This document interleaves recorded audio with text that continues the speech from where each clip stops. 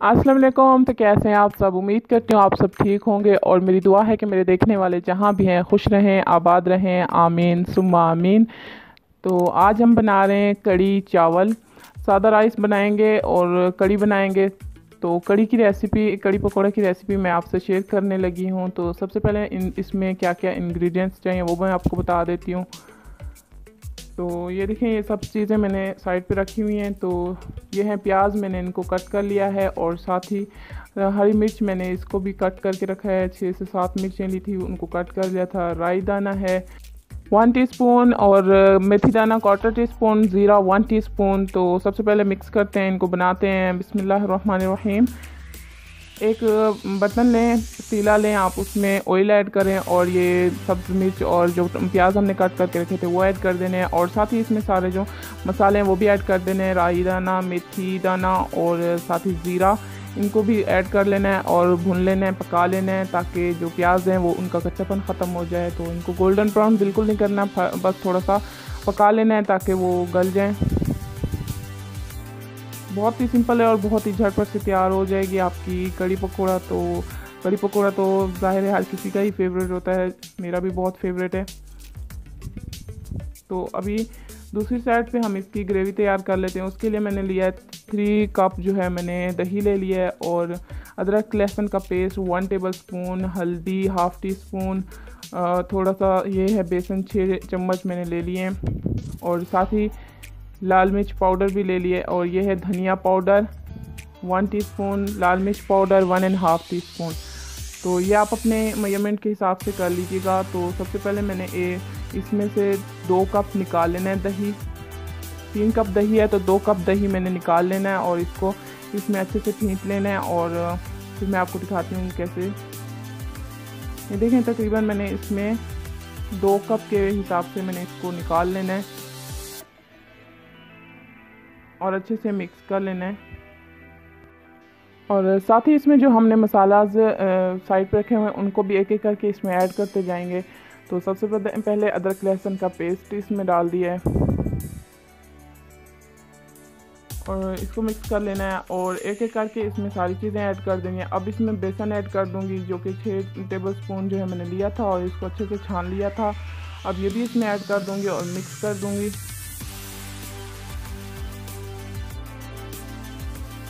तो ये देखें मिक्स हो चुका है। अभी साथ ही इसमें धनिया पाउडर भी ऐड कर दूँगी, हल्दी, लाल मिर्च पाउडर सब इसमें एक एक करके ऐड करते जाएँगे और मिक्स करते जाएँगे। ये देखें हल्दी। अब इसको मिक्स कर लें अच्छे से।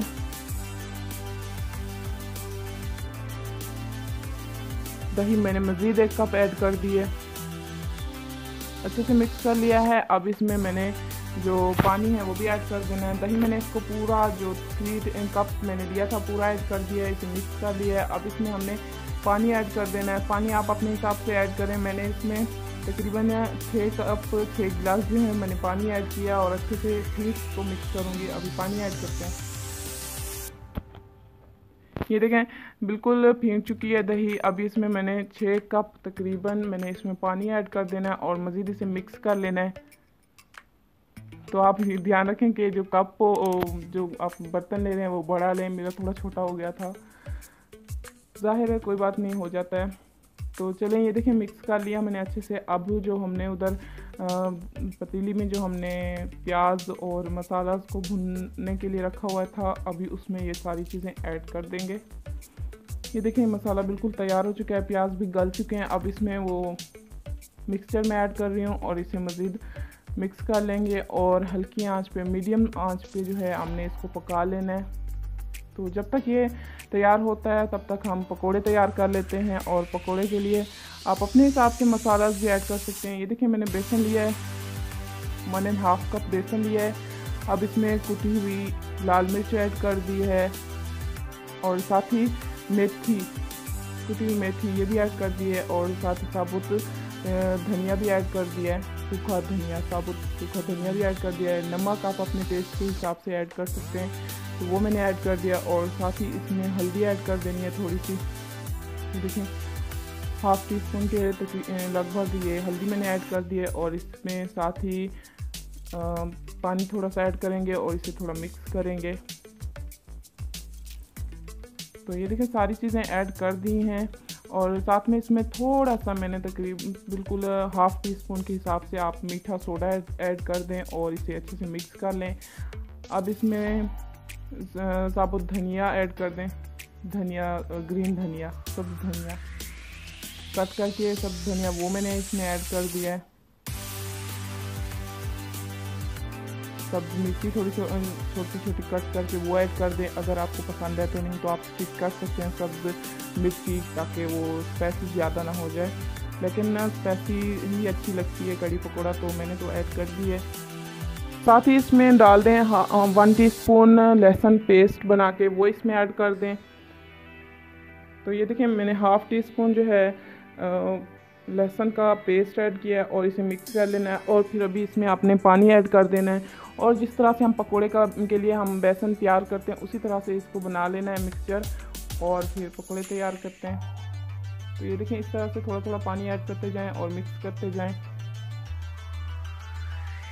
आप चाहें तो अपने हाथों से भी मिक्स कर सकते हैं। मैं चम्मच से मिक्स कर रही हूँ।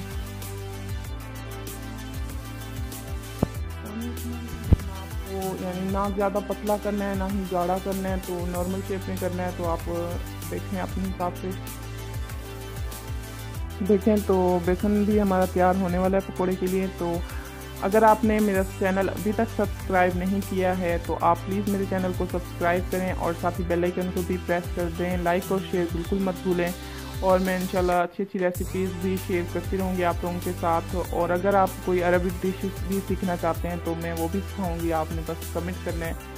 तो जी, हमने पकोड़े फ्राई होने के लिए रख दिए हैं। इसी तरह से आप बड़े, छोटे, दरमियाने साइज़ में, जिस तरह से आपको पसंद है, आप पकोड़े बनाएँ। हल्की आँच पे मैंने इसको रख दिया है और बन रहे हैं पकोड़े। ये देखें जी, पकोड़े हमारे तैयार हो चुके हैं। और दूसरी तरफ़ ये ग्रेवी भी हमारी तकरीबन तैयार हो चुकी है, ये देखें। इसको बिल्कुल गाढ़ा नहीं कर देना नॉर्मल रखना है, क्योंकि पकोड़े जब ऐड होंगे तो वो खुद ही सही हो जाएगा। तो देखें, दूसरी तरफ़ मैंने वाइट राइस भी बना लिए तो ये तो आपको रेसिपी पता ही होगी कि वाइट राइस कैसे बनते हैं। देखें तो अभी क्या करूँगी कि पकोड़े निकाल के मैंने इस ग्रेवी में ऐड कर देने ग्रेवी बिल्कुल तैयार हो चुकी है, ये देखें नॉर्मल है। ना ही गाढ़ी है और ना ही पतली है। तो इसी तरह से आप रखें। तो ये जो है ना, बहुत मज़े की बन जाती है। आप लोगों ने ज़रूर ट्राई करना है और मुझे कमेंट सेक्शन में ज़रूर बताना है कि आपको ये रेसिपी कैसी लगी है।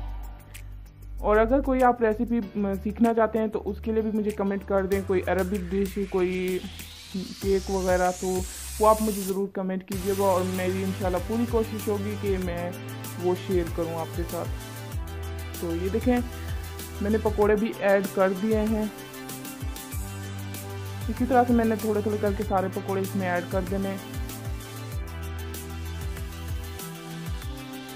और अगर आप सऊदी अरब के मदीना में मैं रहती हूँ तो अगर आप मदीना में कोई भी किसी भी जगह का को देखना चाहते हैं, आप चाहते हैं कि मैं व्लॉग बनाऊँ तो उसके लिए भी आप मुझे कमेंट ज़रूर कीजिएगा। मैं इंशाल्लाह वो व्लॉग भी आपसे शेयर करूँगी।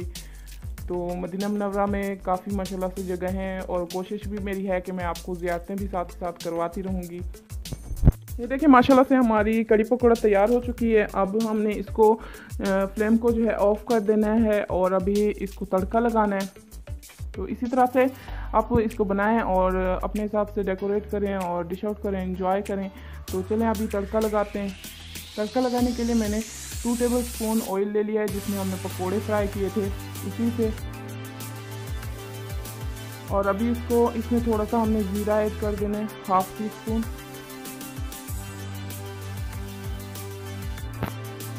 इससे थोड़ा सा इसको पका लेना है। और साथ ही इसमें लाल मिर्च सूखी लाल मिर्च भी इसमें ऐड कर देनी है। मैंने दो अदद ऐड की है और हाथ की मदद से उसे थोड़ा सा आ, मसल के ऐड कर दें। तो मैं दिखाती हूँ किस तरह से। ये देखें ज़ीरा हमारा फ्राई हो चुका है। अब हम इसमें लाल मिर्च सूखी लाल मिर्च ऐड करते हैं। ये देखें, हाथ की मदद से इस तरह से आप उसको थोड़ा तोड़ लें और इसमें ऐड कर दें इस तरह से। और इसे थोड़ा सा मिक्स कर लें और साथ ही इसमें आपने कड़ी पत्ते ऐड कर देने चार से पाँच अदद। ये देखें, कड़ी पत्ता भी ऐड कर दिया। अब इसे थोड़ा सा मिक्स कर लें इस तरह से।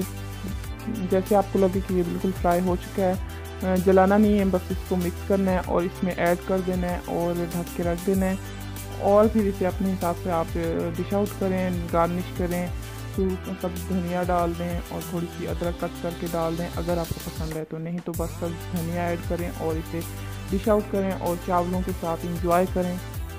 तो अपने दुआओं में याद रखें और मेरे चैनल को ज़रूर सब्सक्राइब करें लाइक करें शेयर करें और अपनी दुआओं में याद रखें, अपना ढेर सारा ख्याल रखें और मिलते हैं अपनी नेक्स्ट रेसिपी में। तब तक के लिए मुझे इजाज़त दें। अल्लाह हाफिज़।